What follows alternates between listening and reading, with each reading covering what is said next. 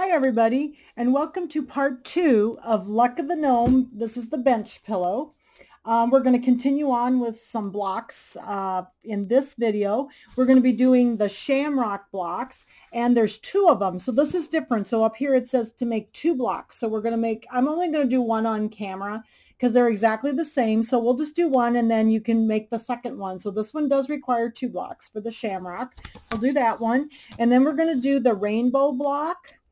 And then the next one would be the rainbow cauldron box. So these, these two blocks kind of go together.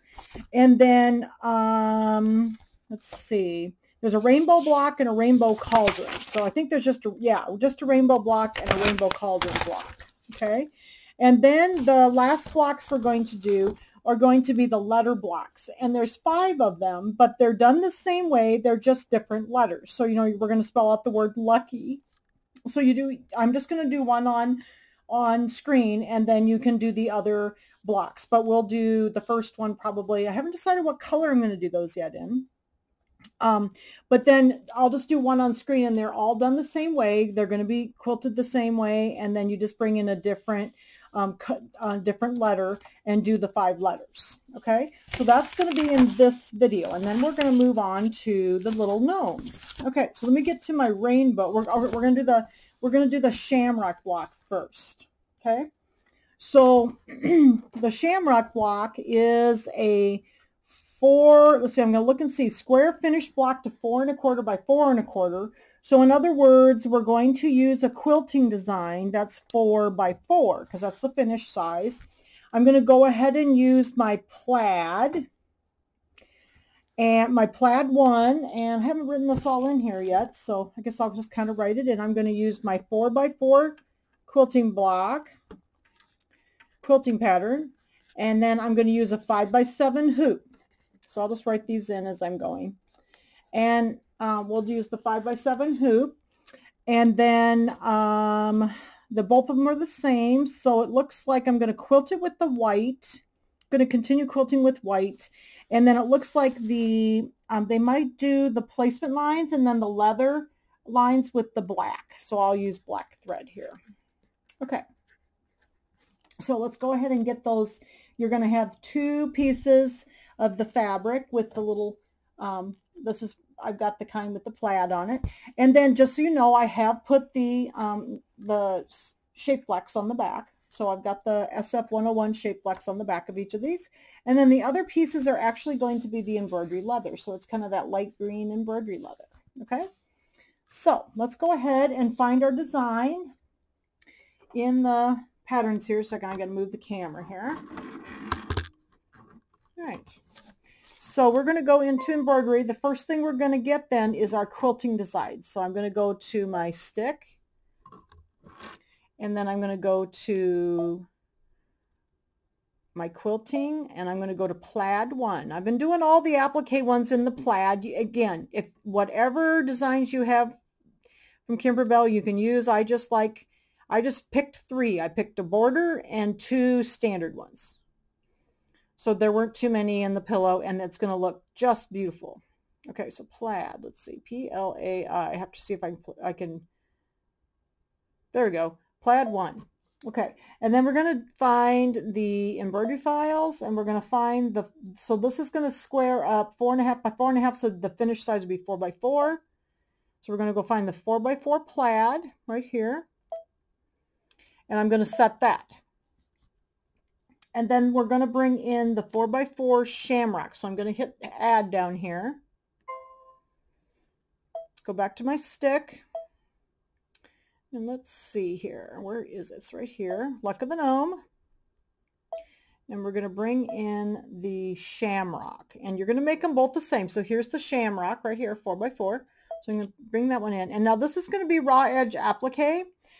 And it also, I'm looking at the instructions, there's no specialty um, trimming instructions. So we're not going to have to move. These are just going to be centered. So we don't have to do anything special to the design to bring it into a, a different place. So it's all going to be in here.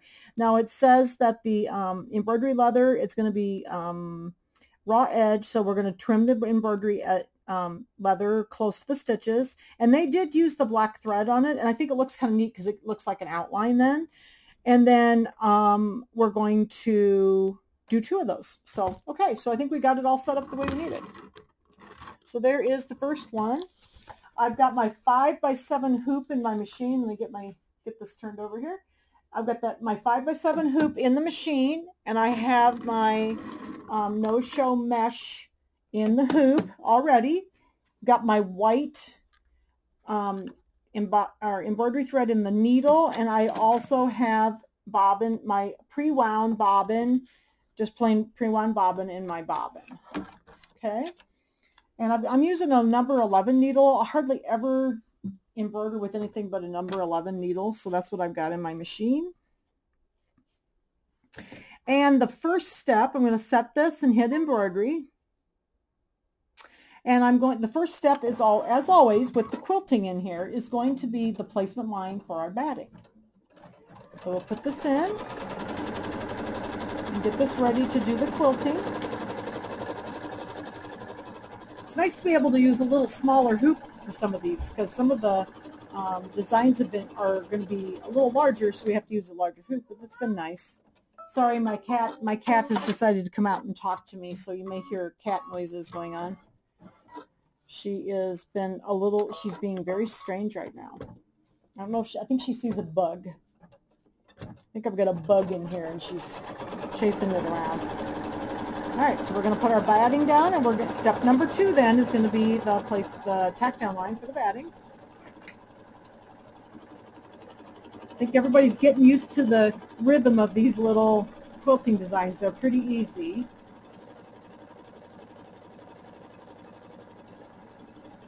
And this this pillow has quite a few blocks in it, but it but they're all smaller. I've noticed that you know they're not taking as long as some of them do, so this one's not too bad.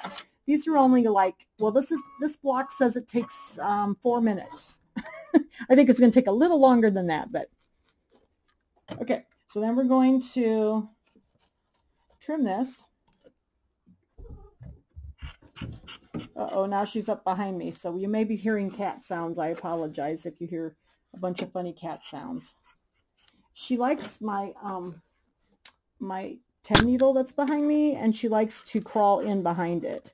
So that's where she's at right now. All right.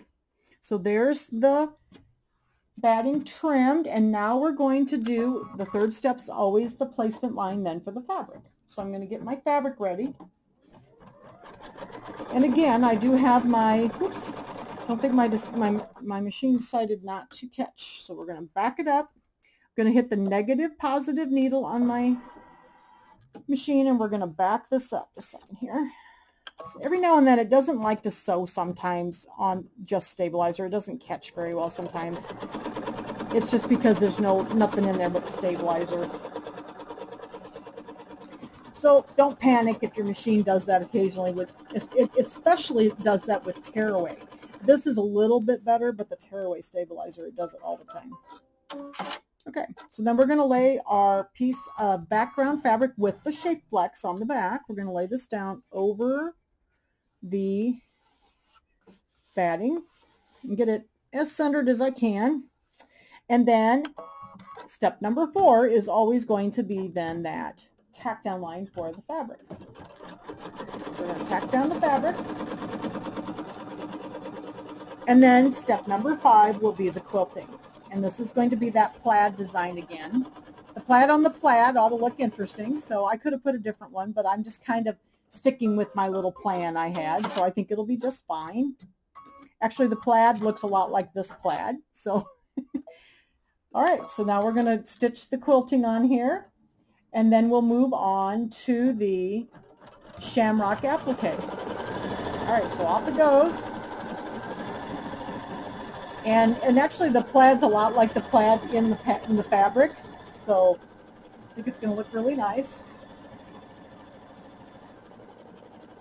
And this is, then we're going to move on to the applique, applique with the embroidery leather. To see if I can find my black thread here. This goes pretty quick.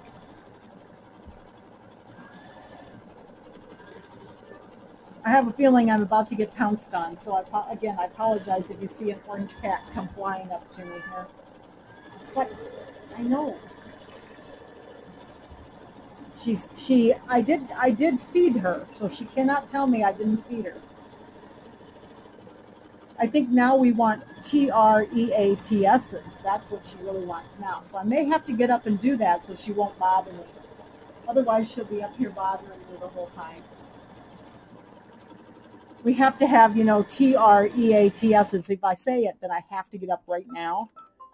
So she likes those right after we eat and she always lets me know it. See, I'm not in the kitchen. I'm in out here not paying attention to what's going on. So, okay, so the next step then, we're into the actual applique for the um, shamrock, and they actually just used black thread for the placement and the tack down. So I'm just going to go ahead and put the black thread in. And then do my placement line so I know where to put down my piece of, and this is the embroidery leather, the green embroidery leather. For you to see that, okay? And then get my embroidery leather out here. And this is just going to be raw edge applique, so it'll just give us our placement line, and then we're going to lay this down, and then it's going to do like a triple stitch to sew it down. And then we'll trim it. Okay, so let's get this on here. This will be pretty. Okay, so I'm going to kind of hold it on there. This is going to scoot just a little, so I think I'm going to kind of hold it down. I'm going to leave my black thread in. And it's going to tack it down. Just let get it started and then it should be okay. There we go. And then we're going to trim this.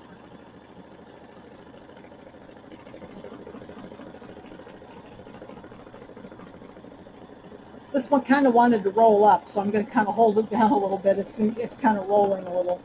It was in the package quite a while because, like I told you yesterday, when I was making the first video, video it was just yesterday. I uh, I've had this for quite some time, and the leathers and stuff have been in the package for quite a while, so they they're a little curly.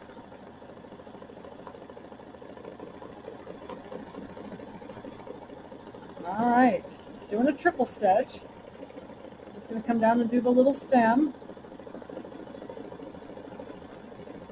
And this is the last step. And then you have to make a second one. So we're going to trim this. I'm going to show you how to trim it. And then we're going to do the second one. I'll do the second one off camera and then I'll come back and we'll do the next block. All right, so we're going to trim this. Okay, so that's all the stitching we're going to do. I'm going to get my glasses on here. Now these this leather generally has a white backing. Not all of them do, but this one does. So I don't want the backing to really show. So I'm going to try to tip my scissors so that they're kind of parallel. And that way you don't see too much of the white. So the more you tip them like this, the more of an angle you're going to get when you're when you're when you're cutting. And I want it to be pretty much straight up and down. So I'm going to try to do the best I can here. Sometimes I struggle a little bit with this, but we want it to be pretty much straight up and down.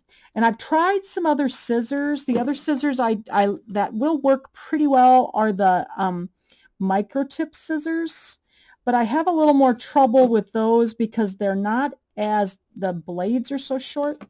So I find that my double curves still work real well, but I have to kind of tip them towards me and keep them keep them tipped so that they don't give me that white that white beveled line on the edge. So I don't like that line on there. So I'm just kind of keeping them up and trimming maybe about an eighth of an inch away so you can leave just a little bit of a edge after around the black. I kind of like the black in there. It kind of goes nicely with the um, with the background. Okay, so let's see if we can get this one. It's a little hard when you have all these little curves here. All right, and again, like I said, we're going to make a second one of these. So I'll make the second one off camera because I think you can do it once you've seen it once. I think you can do it with me. And, okay, trying to keep my scissors tipped. Okay, get down in that little spot. Oops, I got a little weirdo spot here, so let's see if I can fix that. There we go. Get this, hopefully you can see what I'm doing. It's a little hard. I'm trying to, to trim in the camera so you can see. Okay, so I'm keeping my scissors tipped toward me. And if you have another pair of scissors that the, that works well for you, by all means use those. This is just the scissors I use most of the time. And I find that these, especially, they have a really, really thin little tip on them. And the other ones that do work for me are those micro tips. And um, I do use those sometimes, but they're straight scissors. They're not curved like these are. And so I find them a little hard sometimes to get down. And, you know, there's a little bit of a, um, a drop in the hoop, you know, because there's a little ledge around the hoop. And I find it a little difficult sometimes to get down in there with those straight scissors. So these curved ones work better for me. And they're a longer scissor, you know, they're, they're six or, you know, six or seven inches long and, and the other ones are only maybe three. And so it's just hard. I think it's just harder because they're so short. All right, so these are looking pretty good trying to keep, you know, keep my scissors tipped up so that I don't get that white. Otherwise, you can get it kind of a white, like if I do it over here and I go like this, you'll see then, then when you see the edge, you see the white edge on the edge of it right there. And it, and it, and it's quite noticeable when you look at the project. So I'm trying to do the best I can to keep that from showing. Now this is not a real dark leather. Some of the leathers that have the white background are, it's very noticeable. Like the blue is quite noticeable because it's so, it's so much darker. This is pretty light, so this one's not too bad if you see a little bit of the white. Okay, so I got that. I got with this one more little spot in here to do though. Let's see if I can get this one. I'm going to have to kind of tip this other way to get this there. So that one I got just a little bit of a ledge, but I just can't get my scissors in there very well. There, that looks pretty good. Did I, oh, I got a little, got a little notch over here, so let's see if we can get this one smoothed off just a little. There. Okay, so what do you think of my shamrock? That's really pretty. I like that. Pull this back a little bit so you can see. What do you think? I like that. All right, so I'm going to make a second one of these. Okay, and then I'll show you how to trim them. So I'll go ahead and make my second one and trim it, and then I'll show you how to how to um, do the trimming on or to trim the outline, you know, with the orange pop rulers for both of them. Okay, so I got my second shamrock done. So here's my my two shamrocks. Aren't those cute with the plaid and the and the black outline? I really like those. Very shiny. Okay, so now it says that we need to square them up to four and a half by four and a half. So I've got my orange pop rulers here and I've got my four and a half inch one. And then I like to put the, the bigger one in too, just to help me. So I'm going to take this and of course, you know, we've got our, our fabric placement or our fabric tack down lines in there to help us get this lined up. It's very nice to have those lines because then it really helps you get it lined up. So we can get it pretty much centered. And then I'm going to put my larger ruler in also. And I'm going to turn it towards me. Now remember, I'm I'm left-handed, so I'm cutting with my left hand and I'm I've got this turned to the right. So if you're right a righty, you're going to go to the left, okay? I'm going to cut, I'm going to start in a little ways, pull back into the corner and push forward. Spin on my Martelli mat. I love this mat. Okay? Makes and these really spin. You know, you don't have trouble with them spinning. Some of the other types of mats don't spin very well. They catch. The only reason mine's catching just slightly right now is because it's hitting my little fan over here. Sorry. I don't have a whole lot of room to to uh, move over here. So okay, so there's my first one. There's my shamrock. Isn't that pretty? I like that. So let's get the other one. We're going to do the other one the same way move my little fan over just a little bit so it doesn't hit my mat. Then we're going to get this lined up. Got to find the top of it. There we go. And I'm going to line up using those those tack down lines for my fabric to help me kind of get it squared up. It looks pretty good. Put the bigger one in. This is the six and a half by six and a half inch one. Okay, I'm going to do the same thing. Start in, pull back into the corner, and push forward. Make sure you have a good sharp rotary blade when you're doing this. It helps a lot. You're cutting through, you know, several layers with the fabric and and the stabilizer is kind of stiff sometimes, so that I always need to make sure I put a good blade in my rotary cutter. So did I get this one? Yeah, I think I got them all. Goodness, that was that went fast, didn't it? Okay. Oops, I got one little spot that didn't trim here. I think it's just about time for another blade. I'm notice I notice it when I cut these because you really want it to be sharp. There we go. There. Okay, so there's my second shamrock. Isn't that pretty with the with the uh, embroidery leather? I really like the embroidery leather. All right, so that are those are the two shamrocks, and of course, don't forget to make both of them. The two shamrock um, blocks. Those are four and a half by four and a half. And then we're going to move on to the next block, which is going to be the rainbow block. Now, originally when I saw the instructions, I thought this one and the cauldron went together, but they're actually separate blocks. So now I understand. I was I was misreading the directions. So this block is also going to be um, a four and a half by four and a half inch block. So I can still use my five by seven hoop. So we'll go ahead and we'll get this one. And I think this one up here says specialty cutting instructions. So we're going to have to do some moving of the design to get it into the right position in the in the hoop. So I'm going to get set up for this block and I'll be right back. Okay, so we're ready for the rainbow block. Now this one says it has specialty cutting instructions. So when we go to put our design in, we want to look at those instructions at the bottom to see where we're going to be placing the rainbow in the hoop in comparison to our quilting design. So I'm going to go ahead and start and get my quilting design and then I'll show you what we're going to do with the rainbows. So, okay. So let's get, the, and I'm going to go back to the um, plaid one. I'm just using the plaid for these applique blocks and then there'll be a whole bunch of blocks that'll have another design in them.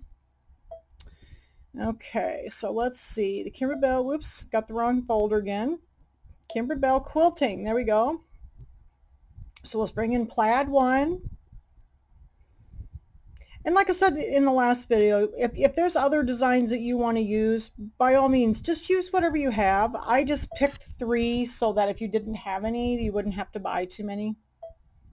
So I was trying to keep the costs way down. So, all right, so here's plaid four by four. So this one's going to be, it says trim it by four and a half by four and a half, but we're going to trim, we're going to use a finished block of four by four. So I'm going to set that one. And then I'm going to go ahead and bring up my rainbow. So I'm going to hit add down here. Sorry, couldn't see it. It was right here. and I'm going to go back to my stick. And we're going to go to Luck of the Gnome. And we're going to go find our rainbow. So here's the 4x4 rainbow. Okay, so this one says in the specialty instructions, it says that um, the, I don't know if you can see it very well in here. I'll try to hold it up so you can see it. But right here, we want the edge of the rainbow to be a quarter of an inch. So in other words, it's going to be just in the seam line, okay? So let's look on here. I'm going to bring this bigger on the screen so we can look at it. And we want to make sure that it is to the right uh, we want it to be a quarter of an inch from the edge on the right and on the bottom. That's the way they want you to do it. So let's see here. I'm going to set this. I'm going to hit edit up here. And let me see. What is a good way to tell if you're a quarter of an inch up? Let me see. So if we go over here, so see this is all the way over. What that is on the edge. So I think the line that's going to be roughly a quarter of an inch. Can you see this little line right here, like right inside the plaid there? That is the placement lines for the batting. And that is the line we want to be on on the right. And if you can see it at the bottom, if I move this up a little bit, you can see it. See it down here at the bottom as well. Those are the placement lines for the batting. So that's going to be a quarter of an inch away from the other line that's there, and that's the tack down. or placement and tack down for the fabric. So we want to get it over to the inside straight line. So that's a quarter of an inch in. And I'm whoops, going to bring it down to the other line here. I think we need to be about right there. And it looks like I might need to go over just a smidgen so that we're lining up the line of the rainbow with the inside line of the block. There are, it's pretty obvious when you're looking at it real close on your own machine. It may not be very obvious here, but I'm, I'm choosing the placement and tack down line of the batting, which is the first line, and that's where we want the, ins the edge of our rainbow, the bottom left edge and the top right edge to be. So I'm seeing if that looks pretty good. If I bring it up, then I can see it. It's kind of an orange line on my screen. So I think that's pretty good. Okay, so when we trim this then, it's going to be about a quarter of an inch. The edge of it's going to be a quarter of an inch on the right and a quarter of an inch down at the bottom so that when we go to trim it, uh, when we go to sew it together, that the edge of the, the, the bottom of the rainbow is going to be basically in the seam and the side of the rainbow. Okay, so I've just got it lined up. So the line I lined it up in this right-hand corner, bottom right-hand corner, is the line that is for the batting. Okay, so I think that looks pretty good. I'm going to go ahead and hit OK and embroidery. So we're going to start out again with the um, with the quilting, of course. This is my pieces for this particular, so we're going to do something different with this one. So give me a second, I'm going to move this over here. This is my background fabric, again with my with my shape flex on the back, this kind of pretty gray with the little lines in it. And then um, we're going to be doing using some mylar in this. So this is the iridescent mylar that came in the embellishment kit. So I'm going to set that aside. We won't need that for a few minutes because we're going to do the quilting first. So I'm going to go ahead and I've got my white thread in my needle again. I've got my regular embroidery thread, bobbin thread in the bobbin. And I've got my no-show mesh in my 5x7 hoop. So we're going to start the quilting process here again, just like we have for the other blocks. First step is going to be the placement line for the batting. So this is the line that I was lining up my rainbow to. So it's smaller than the other line. So it might be a little bit, you might understand better if you see it again stitched out because there's going to be a line that's going to be a quarter of an inch bigger. So this is the line I met, I lined up my rainbow up here and down here on, okay? Then we're going to put our batting in here. See if I've got a big enough piece here yet. Just barely. I think it'll work. Got some little little chunks. We're doing some smaller blocks right now, so I can use some of these small chunks up.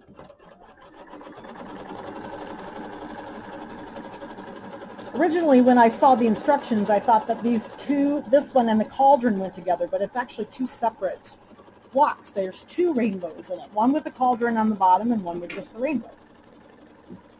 So I wasn't paying, paying, paying close attention when I read it the first time. All right, so then we're going to trim our batting, of course.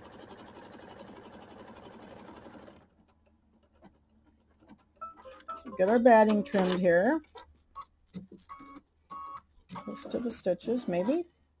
Has to do its little shimmy at the end there. Get this trimmed.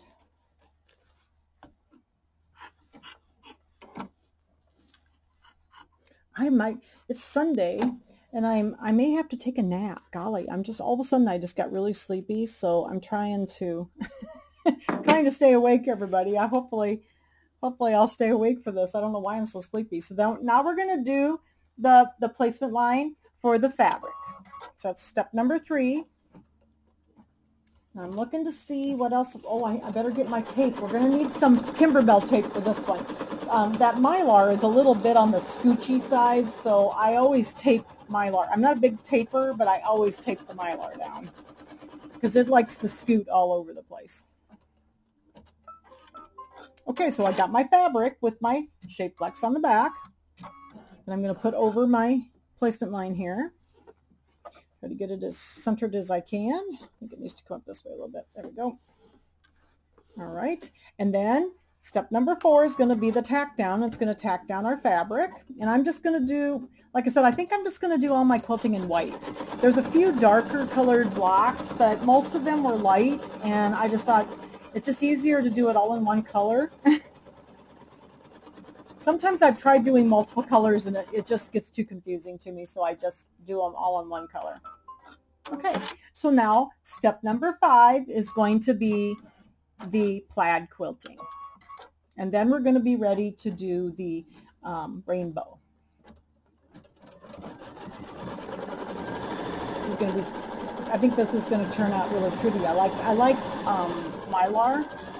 And they don't do, they used to do tons of Mylar. So this is a little older design. And they kind of, they don't do as much Mylar now. I, I love Mylar. It's so pretty their mylar is very good. So if you're buying mylar, their mylar is really good, and you can actually wash it if you need to launder it. It's okay.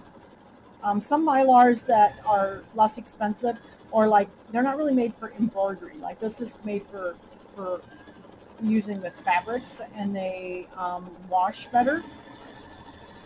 So if you need to wash like a shirt or something that you put mylar on, you can. We're going to have another little plaid block. I kind of like the plaid actually, but the other ones that are going to be, a lot of the other blocks are going to be like um, the shamrocks. So those will be really pretty together. And you'll see the shamrocks more. See the plaids, so many of these are going to be kind of covered up. So you won't really see it too much. Okay. So when I'm looking at my color chart over here, it says to put the mylar down with the, there's kind of a light blue and um, it's called Misty Blue, and this was 0287. So I'm going to change to my Misty Blue, and that's also going to be the first color of the rainbow. So I'm going to go ahead and put my Misty Blue in. We're already on the third block. Wow, we're doing great. These are fun to do. A lot of they had a lot of smaller blocks, so it's nice because then they go pretty quick. Even though there's quite a lot of blocks in it, they go pretty quick. Okay, so this is going to be the placement line to put down our our um, mylar, which is actually like an applique. So I'm going to grab my, maybe, I'm going to try to grab my uh, Kimberbell tape here because I do want to go ahead and take this down. So you can see that the edge of my rainbow is about a quarter of an inch from the edge here. Okay. All right. So I'm going to lay my mylar down over my rainbow and I'm going to get my tape because this stuff does scoot around. So I am going to tape this down. So we'll tape it down up here. Might be able to get by with just two pieces of tape. I think it'll be okay. Think it'll be okay because it's stiff enough. This is a little bit thicker mylar, so it doesn't move around quite so much, but it does work. It, it is kind of shiny, so it moves.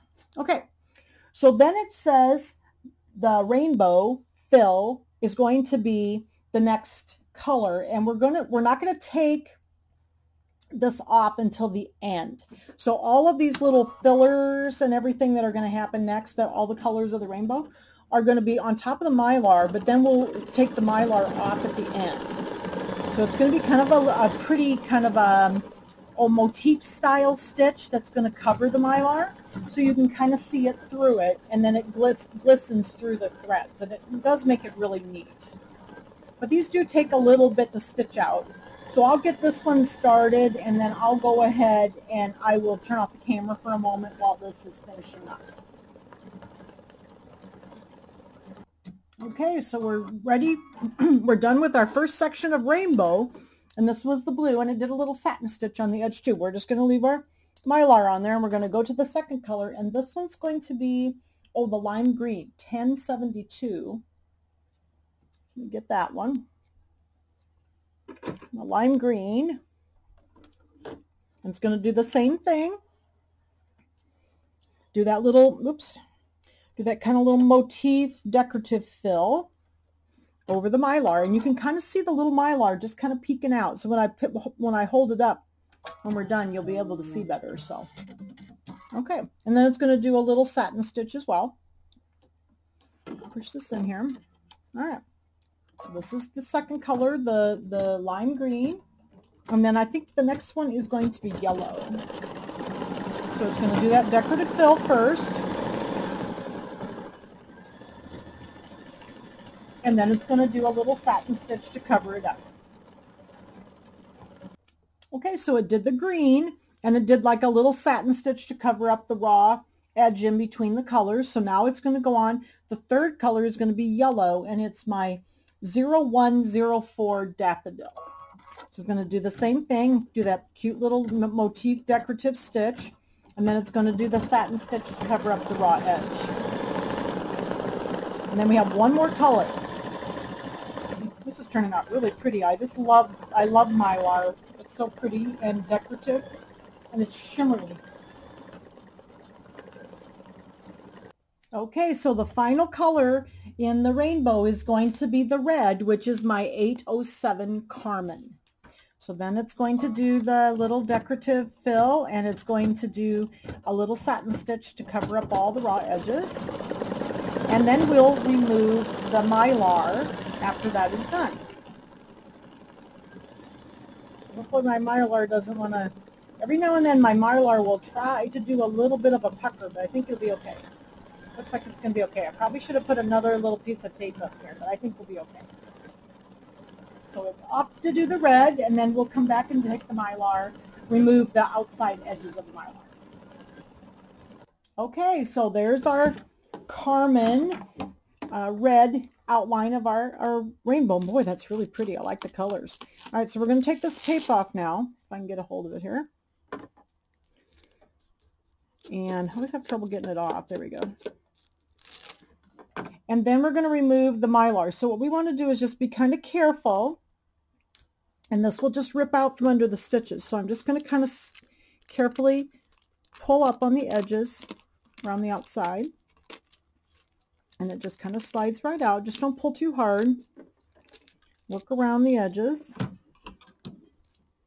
And then it leaves that pretty little shimmer in underneath those threads. What a, I, I just, I like I said, I just love Mylar. Iridescent Mylar is my favorite because it just gives that shimmer and it makes it look so bright. All right, oops, got a little spot here. Then my there it comes. Okay, there we go. Oh my gosh, isn't that pretty? You can see the little shimmer on it. Looks so pretty. Looks like I got a little tail down here. Get the little tail trimmed off.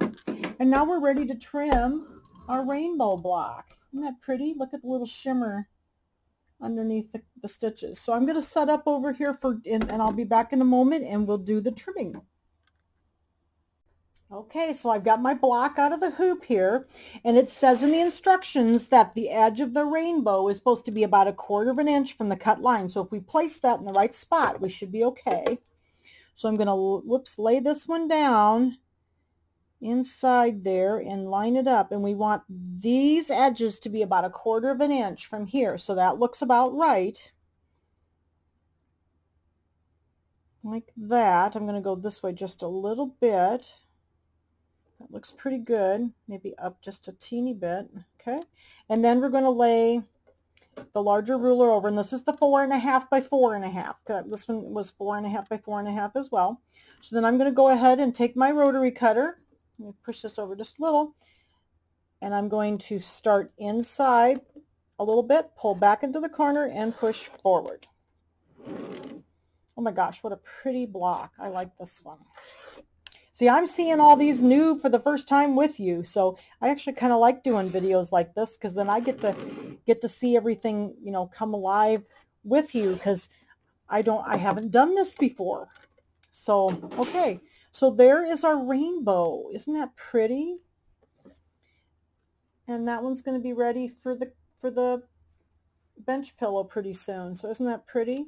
So then the next block we're going to do is going to be actually another rainbow, but it's going to be called it's called Rainbow Cauldron. And there's a little cauldron at the bottom.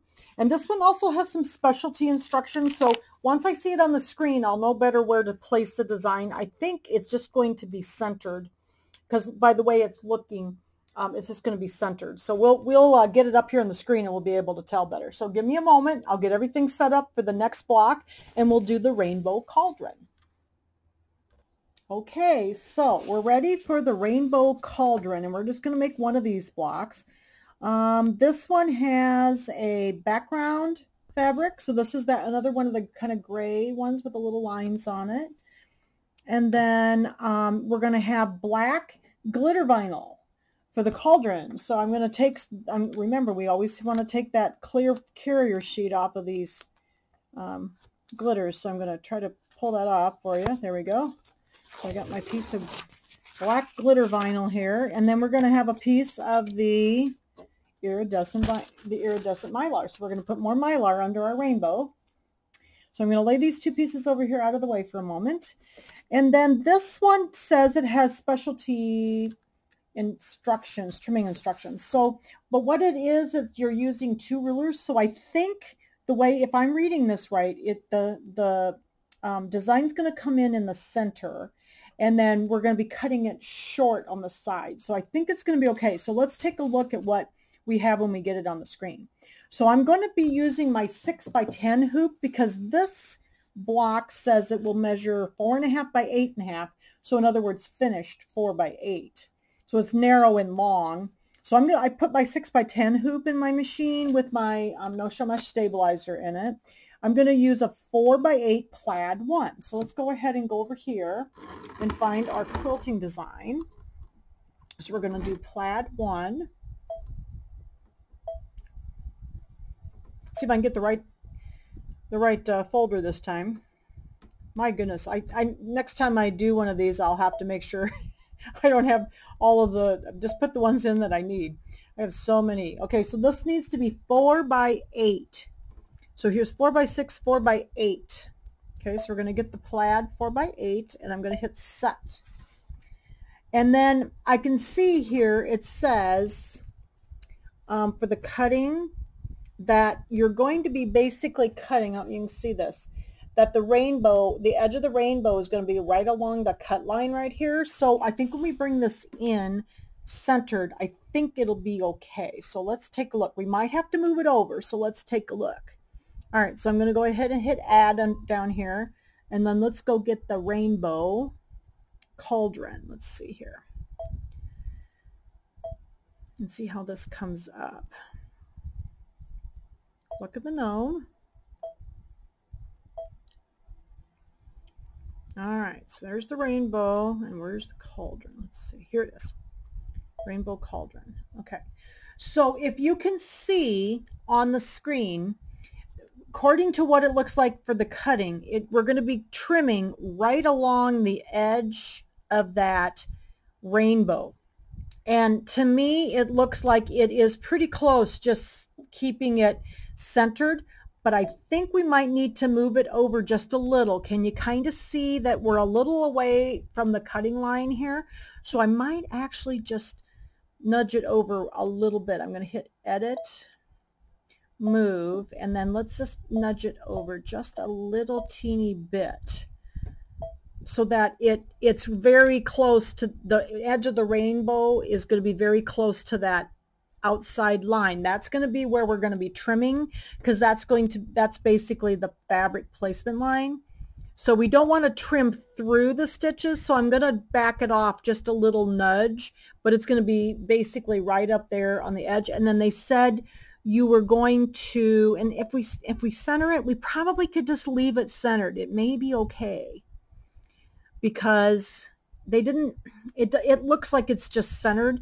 I'm worried about the the little handle over here being just a little bit so i am going to nudge it over just a smidgen.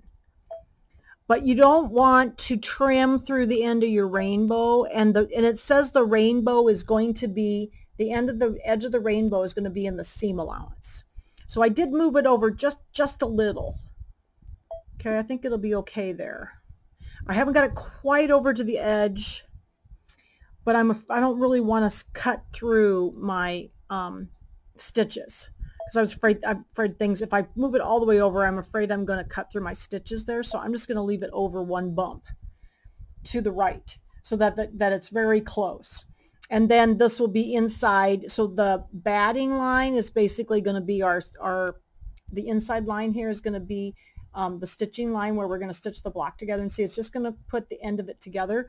And then this is going to be basically right up to the handle. Looks like to me it's going to be like basically right up to the handle. Okay so I think we're going to be okay. I mean I think we could move it all the way over. I'm worried about I don't want to lose my handle over here. So let me look and see if I can see a picture of this in the in the pillow it shows the handle. I can't see a picture of it really. It's right in the seam line. So I think maybe I'm going to go ahead and, and move it all the way over just about to the edge so that it's going to be very close to me trimming that off because I don't want to lose my handle on this side when I put it in um, the seam. Okay, so I think I think that'll be okay kind of, it, you know, in the center it was here. So see, it was just a, a little teeny bit from the edge. So I'm just going to go ahead and bump it over to almost that other side. And then I know I'm going to have, because see, you can see where the, the batting line is here. It comes right down on the edge of the handle. So I think that should be okay. Because I don't want to lose my handle in the seam. Okay. I think we're good. This way, we're okay. Up and down is okay. It was just this way I wasn't sure. Okay, so I'm going to go ahead and hit embroidery. And the first thing we'll do, of course, is our quilting. And I've got my white thread back in my bobbin, or in my needle and my bobbin, my bob, bobbin thread and my bobbin. And I'm going to quilt it in the white. And I chose the plaid. Got to get my batting here just a second. I've got, I think I've got a chunk here that'll be about the right size. So we'll see. Okay, so First step of the quilting is going to be the placement line for the batting. I think this is going to be a really neat one. So when I first read the instructions, I thought that the rainbow we just did and this went together, but they're actually separate blocks. Because I thought they were, some of the, I know the other Lucky Us pillow, which is the square um, St. Patty's Day pillow, that one, um, that one actually was uh, the there was two blocks. One had the cauldron and one had the rainbow on it. So I was thinking that this one was going to be like that too, but it's not.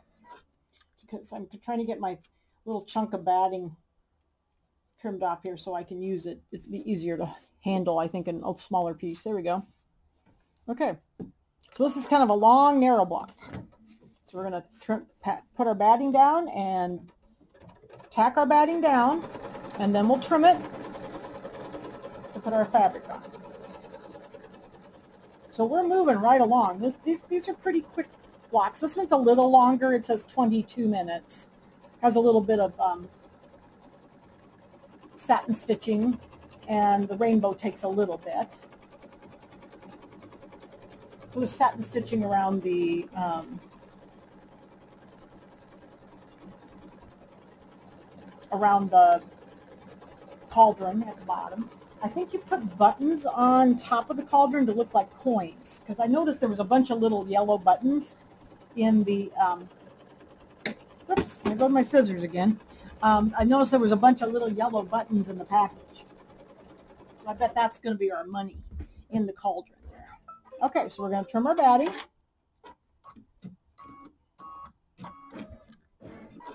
Get this trimmed.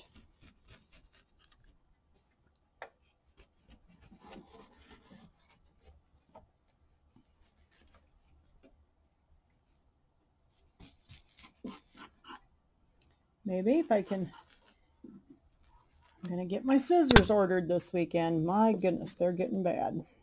Okay, so there's that. And then we're going to do step number three, which is going to be the placement line for the fabric.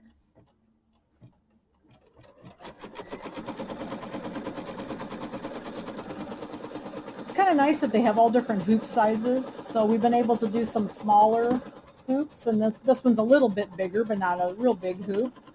Had to use the 12 by the 12, the 8 by 12 for the first couple because they were pretty good sized blocks.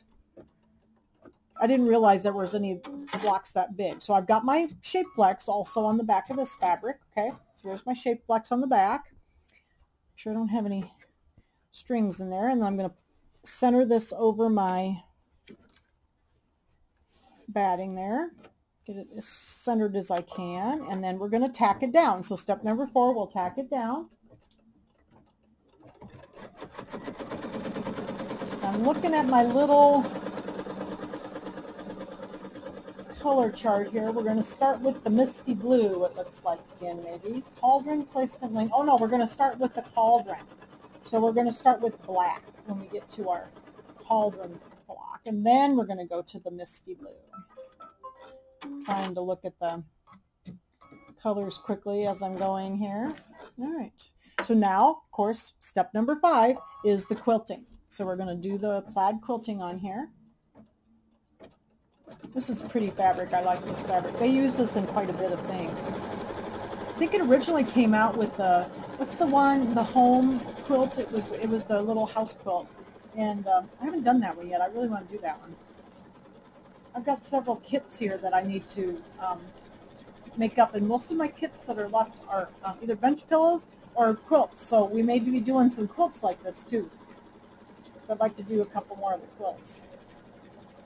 I've got the spring quilt, and I've got, um, oh, the patriotic quilt. I want to do that one. Red, white, and bloom. I want to do that one. So we'll do some quilts probably too this way. All right, so we're getting our plaid on here, and then we're going to move on to the placement line for the cauldron. So I've got to get my, that'll be with the black glitter vinyl here. I'll get that ready. Whoops, looks like my mylar is stuck to something. I'll lose that.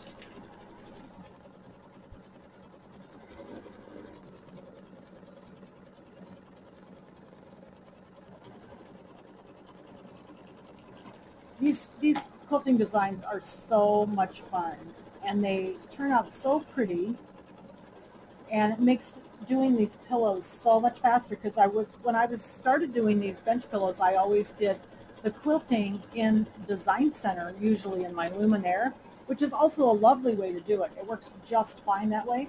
It does take a little longer I think but because th this is really fun to do and it just you can just sew them together at the end so I've really enjoyed them since these have come out. I've done several of the bench pillows the old way that I did them, you know, with my design center, but because um, I'm not a free motion quilter, I'm not very good at that, and so this quilting is way easier for me, so that I have uh, my embroidery machine quilting for me. I really like that plaid design. Isn't that pretty? I use Hobbs 80-20 batting. I think I said that in the last video. I really like it because to me it just has a little bit more loft and you can see the quilting more. With the real flat quilting uh, batting, it's so flat that you don't see the, the definition of the quilting. All right, so now I'm going to switch over to black and we're going to do the placement line for the cauldron. Then of course we need to press that. So that's going to be um, glitter vinyl. Just I to find my black. Here's my black.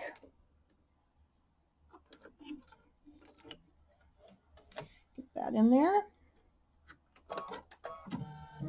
Do the placement line and then we'll tack that down and I think that's going to have a satin stitch on it looks like yep. So we're going to have to do a little bit of pressing over here. I'm going to move my book back.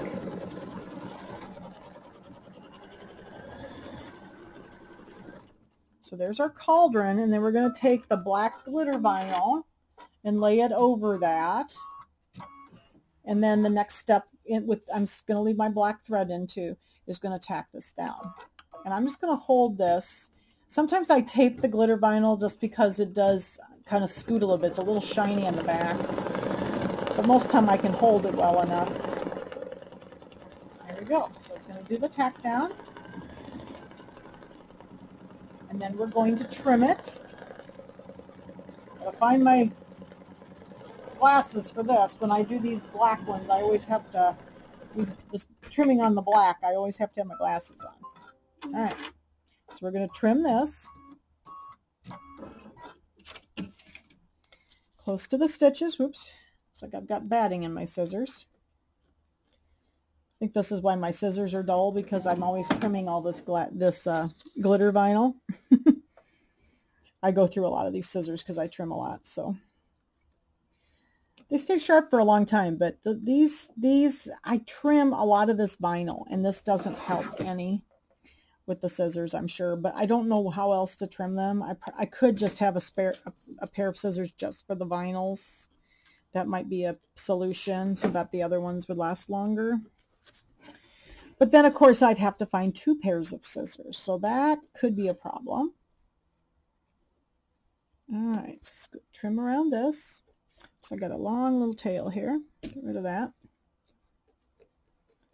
Okay, so now we're going to go over here to the ironing pad. And I'm just going to tip the camera up so you can see what I'm doing. I'm going to go over here to my ironing pad next to me. Whoops, I want to burn my hoop there.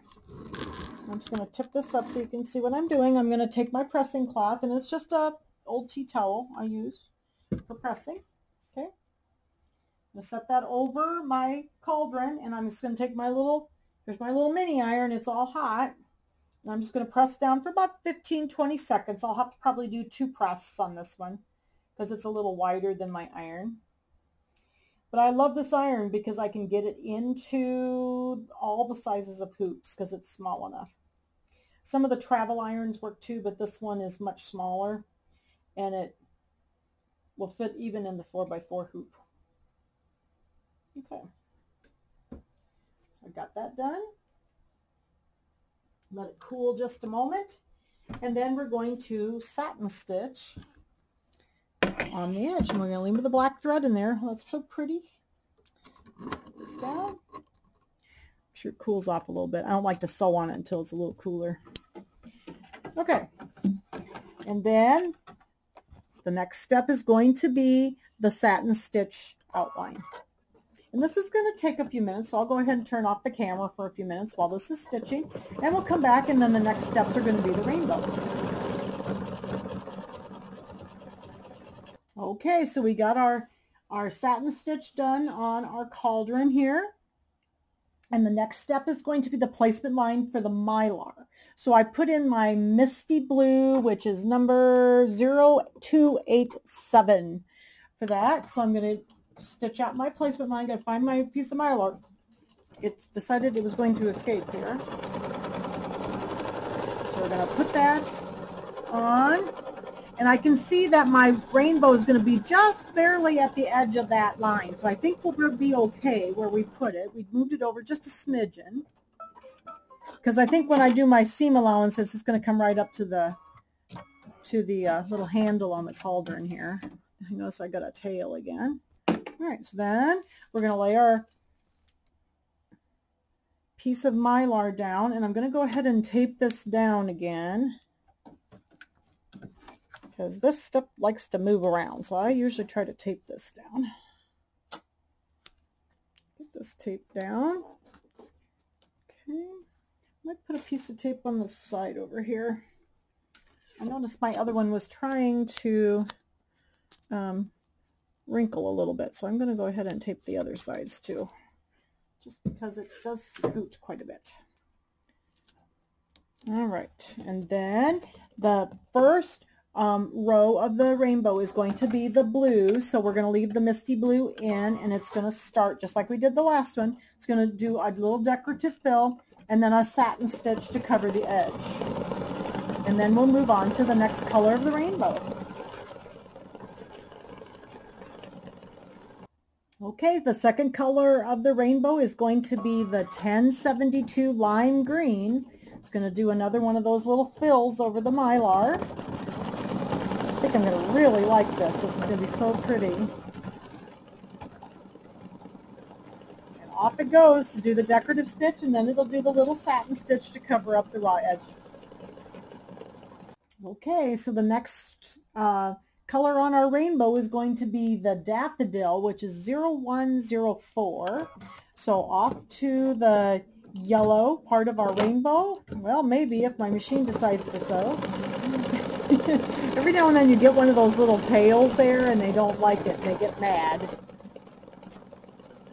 All right, so off it goes and it's going to do the yellow and then the last color on the outside of the rainbow will be the red.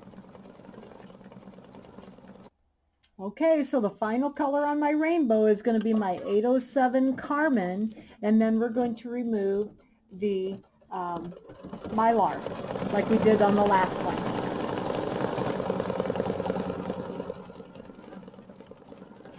I really like that decorative stick. It's really pretty. Just enough to see the mylar through there. Okay, so we finished up the rainbow and I'm going to go ahead and take the uh, Kimberbell tape off, paper tape off of the mylar here so we can, hopefully I'll get it off here, there we go. And then we can take off the mylar and this is this block will be done and then I'll set up and we'll trim this one. This, this one's going to be a little different for trimming because it is going to be trimmed. Um, it's going to be trimmed with using two rulers. Okay, so we're going to go ahead and carefully pull the mylar. Just don't pull too hard. It should come off fairly easily. With all the needle penetrations, it usually comes off pretty easily. All the way around. Like that. All right. Oh my gosh, isn't that pretty? I love that. A little black fuzz up here. All right, so give me a moment. I'm going to set up and we will do the uh, we'll do the trimming over here. So got to get my got to get my my cutting table all set up over here. Okay, so we're going to trim this block, and this block's going to be a little different in that we're going to be using two rulers. Um, it's four and a half inches wide, but it's eight and a half inches long. So the one ruler is four and a half by six and a half. So what we're going to do is we're going to center it. This, I have to find out where my top stitching is. And I'm going to try to keep from cutting through those um, stitches over here on the rainbow. Okay. So I'm just going to kind of center this up with my, so that you can kind of see my, my stitch lines right here and up here. So that's where the outside of the ruler is going to be, and then the inside is going to be lined up in here. So we're going to be cutting on the inside of this one on the sides here, but then we're going to use a different ruler for the ends. So I'm just kind of trying to get it all centered. That looks pretty good. And then I'm going to take the six and a half by eight and a half, or the, uh, so, sorry, yeah, eight and a half, six and a half by eight and a half ruler and lay it down on the outside. So the first thing we'll do is we're going to trim along in here, but then we're not going to trim the ends. We're just going to trim the sides because it needs to be four and a half inches wide. So I'm going to tip this this way Make sure that I'm not going to cut through those rainbow ends. I think we'll be good here. Just a little crooked this way. Okay. So I'm going to trim along here and just trim the long side. So I'm going to flip it all the way around and trim this side. Okay. I'm going to trim just outside of those rainbow ends. Okay. Then I'm going to take the inside ruler out if I can get a hold of it. There we go. And then we're going to cut along the ends of this. So this is going to be, we're going to cut along the ends of it here. Okay. And then we're going to connect the lines. So this is going to be eight and a half inches long. And then I'm going to take my ruler and I'm going to just do these little ends that we missed. So these little edges here, I'll just get them lined up with the edge of my ruler here. And then trim that. See if I can get this one. I always have trouble with this. I always have trouble getting on the right spot, but I think I did okay with that one. Okay. Turn it over. Get these out of the way. Turn it over and do these. And then we have our four and a half by eight and a half block. So that, the, that one we didn't have to do too much changing of the design. We did move it over just a little bit from center to get it a little closer to the to the left edge. Okay. All right, so there is our, see if I get it all cut. I think so. There we go. Try not to cut myself with my rotary cutter. All right. So there is our rainbow cauldron. Isn't that pretty? And then there's going to be like little buttons in here that are going to look like the coins in the cauldron. So very cute block. I really like that one. So that one is going to be, it's four and a half by eight and a half. Okay, so I'll set up for the last series of blocks. It's actually five little blocks, and they're going to be done in a four by four hoop. And it's going to be the lucky, the letter box, and it, and it spells out lucky. So we're going to do all five. I'm just going to do one on the camera, um, one on the video, because they're all the same, and you just change the letters, okay? And then this one has some specialty um, cutting. The We won't have to move the design at all, but the cutting on this one is actually a placement line so that you'll just trim um, by the lines on the um, in the design. So um, I'm going to go ahead and get this set up. I think this one I'm going to use a 4x4 hoop. No, I'm going to have to use my 5x7. Let's see. Square the finished block to two and a half by two and a half. I think we can use our 4x4 hoop for this because we're going to be using a 2 by 2 quilting design. So we can use the 4x4 hoop for this one. So I'll get all set up and we'll start working on the word lucky. Okay, so we're ready for the last little series of blocks for this um, video. And this is going to be a series of five little blocks that spell out the word lucky. They're all small. Um, so I put my 4x4 hoop in with my no-show mesh in the hoop and I'm going to choose um, a, let's see, the, these are going to square up to two and a half by two and a half. So we're going to go ahead and choose a two by two design then because that will be the finished size. So I'm going to go get my little plaid um, quilting design again. Let's see here. Got to get all the way down to the P's. Where is it? Oh, just about got it. Okay, plaid one. And then we're going to do two by two. So this is going to be a small block. Here's the two by two. That's usually the smallest one they have. I'm going to set that. And then I'm going to bring in the first letter. So we're going to be making one of each letter. There's five little blocks that spell out the word lucky. So I'm going to do the L first. So I'm going to hit add. Then I'll show you the little, the little quick um, the quick way to get into the next one um, when I get done with L. So then we're going to go ahead and hit, go back to my stick, and we're going to get the letter L. Let's see here. Here's our letters here. So we got all all the all the letters at the top. So we're going to hit the letter L for lucky, and I'm going to hit set and then these are going to be centered. It does say that there's specialty um, cutting instructions, but those are for, the trimming instructions are for the fact that there is going to be a trimming line around the outside edge so that there's not, there's not a ruler small enough for these, so there'll be um, a trimming line. But we, we know that already and we're okay with the two by two design, so we'll be good with that. So I'm going to go ahead and I'll see if there's anything else. I've got my no-show mesh in my hoop. I've got my batting ready. And I think I'm going to do my, these fabrics are all, second here, I got to get my little backgrounds. So the little backgrounds here, kind of shows you, I'm to hit embroidery over here. So we're ready to go. Okay. So over here, it kind of shows you that they kind of alternated the colors. So I'm going to do the L with this lighter green. So we'll do the L and then the U will be in the dark one. And then the C is going to be in the light one. So I'm just going to kind of put them in order here so I don't get them mixed up. Okay. And then the K is going to be in the darker one and the Y is going to be in the lighter one like that. So they're going to be just alternated. Okay. So I've got, I'll put those in my order. I also have my no-show or my uh, shape flex on the back of my fabric. And I think we're ready to go. So the light colored green, we're going to make the L with the light colored green first step is going to be, and I, and I have a, only have a 4x4 hoop this time, so we got to go down to even a smaller hoop for this one. And we're going to do the placement line for our batting. Now I've got some littler scraps here that I thought would work good for these little blocks.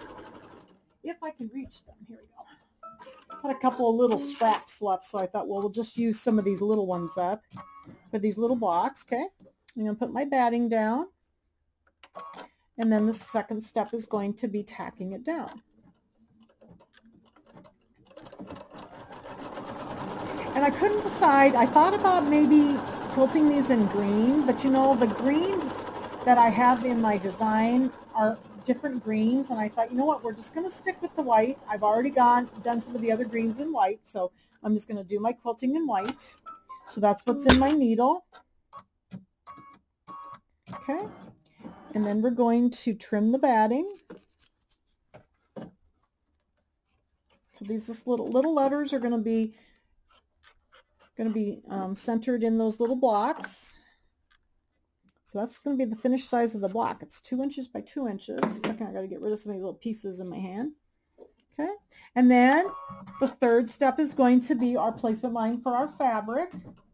And I'm going to get my, the first, the L is going to be on the lighter green fabric. With my Shapeflex on the back. And I'm going to lay this over my batting.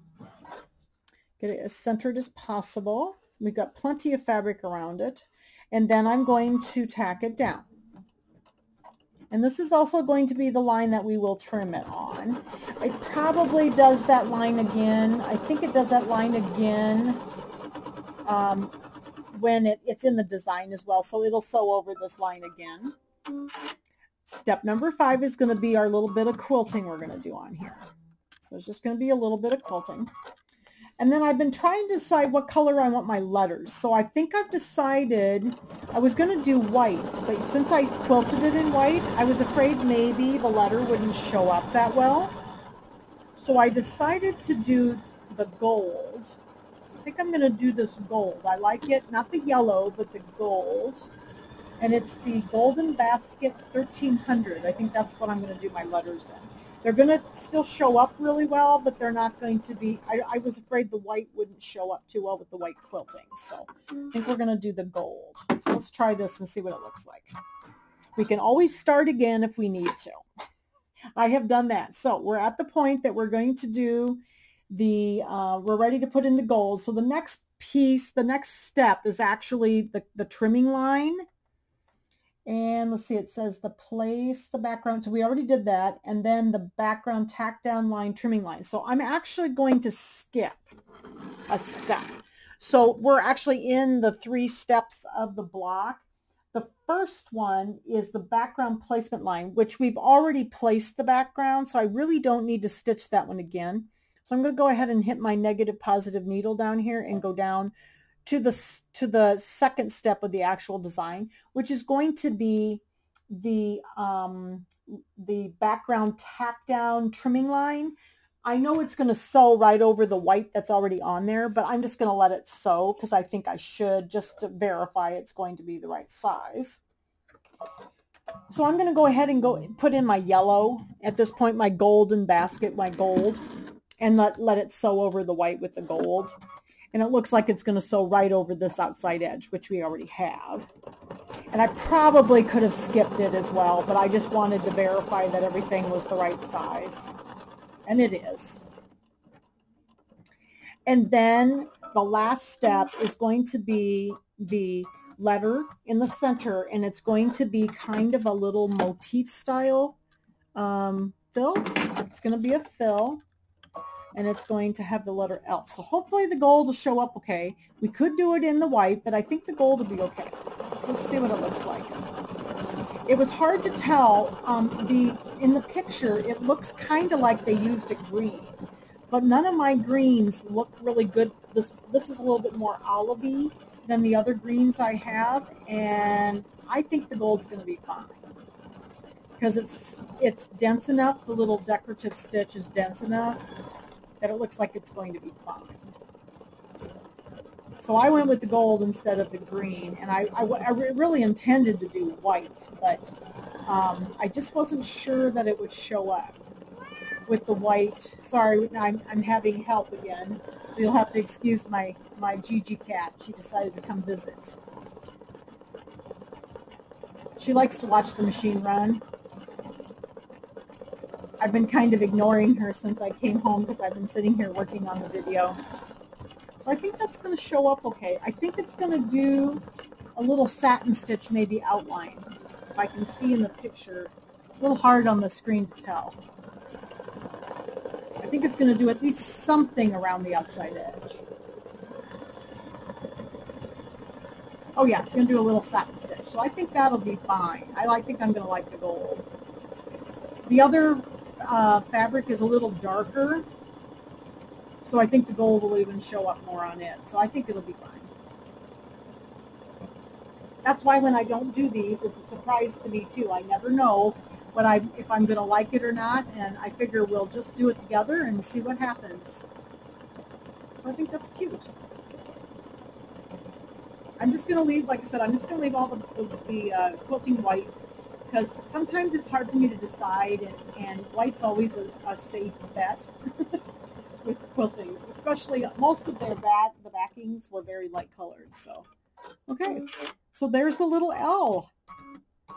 All right, so I'm going to do the same thing with the, the four other letters. I'm going to do U, C, K, Y for lucky, and then um, remember to alternate your, your fabrics. So I won't do all of these on, on screen, but I am going to show you my little trick to get the design set up.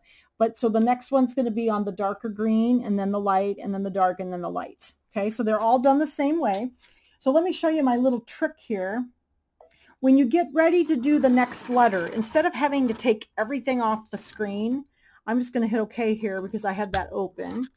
I'm just going to select, I'm going to hit return, and I'm going to just select the letter. Okay, that's what's selected right now, and I'm going to delete the letter. But see, I can leave my quilting up there because the quilting is the same one that we need for the next letter. So then I can just hit add down here and then I can go back to my stick and I can just get the second letter, which is going to be U. So I'm going to go find my second letter. And there's the U. So we're going to get the U. Okay. And set that one. And then we already had the embroidery set up here, or the uh, quilting, I should say. And now we're ready to go again with the next one with the letter U. But don't forget to change your letters when you're doing these. So I'm going to go ahead and take this one out of the hoop, my L. I think I'm going to like the yellow. They, it's very subtle in the picture on the on the on the um, like on the pillow. It looks very subtle, so I think that I think that'll be fine with the gold. So all right, so I'm going to go ahead and put my second block in here and I'm going to stitch out my other four blocks with the U, C, K, Y, and then we will come back together to do the trimming on these so you can see how to trim them. Thought I'd come on and do that little trick, show you my little trick again for for uh, getting rid of the, I, have just got, the, I've done LUC and now I'm ready for the K. So I'm going to return, hit the return button. And then right now the C is um, selected. So I'm going to, I want to just delete the C and not the, the uh, quilting design. So I'm just going to hit the delete. Okay. And now I just have my quilting design still there. So then I can hit add down here and go back to my stick and get my letter K. So I'm moving along. I have two more letters to do. So then we will, we will get together and we'll do the trimming for them. So here's my K. And the K is the darker color. Yep, darker color. So I got my K. I'm going to set that. And I'm ready to embroider my fourth letter. Okay, so I got all my little letter blocks done. And I did go ahead and trim a couple of them um, already. So I have my uh, CKY, my last three blocks already trimmed. So we're going to go ahead and trim the first two. And these are real easy to trim. So there's the, the outline right here. Hopefully you can see it on the camera. The outline right here that I did with the gold, just to verify that the white and the gold was in the same place.